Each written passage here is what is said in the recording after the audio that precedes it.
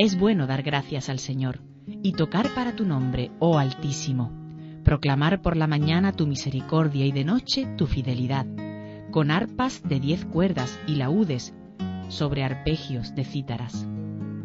Tus acciones, Señor, son mi alegría y mi júbilo las obras de tus manos. Qué magníficas son tus obras, Señor, qué profundos tus designios. El ignorante no los entiende ni el necio se da cuenta. Aunque germinen como hierba los malvados y florezcan los malhechores, serán destruidos para siempre.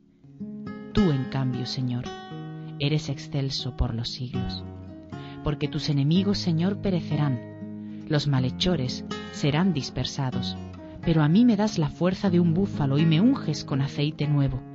Mis ojos despreciarán a mis enemigos, mis oídos escucharán su derrota.